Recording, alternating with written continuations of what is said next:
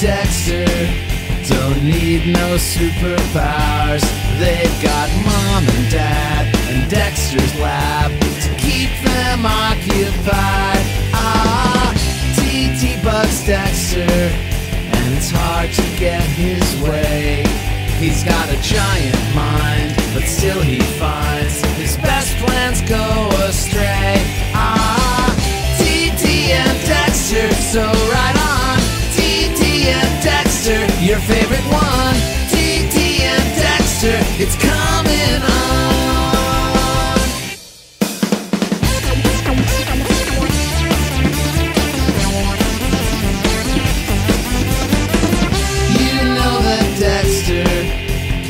things grow big or small. From hovercrafts